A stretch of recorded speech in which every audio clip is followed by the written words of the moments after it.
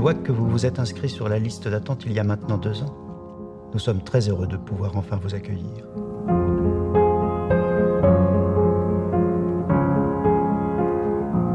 Vous avez ce qu'il faut pour accommoder les régimes végétaliens Oui, bien sûr. Que la nuit vous soit agréable, mes amis. Paul Toi qui es insomniaque, ça t'arrive jamais de confondre le rêve et la réalité?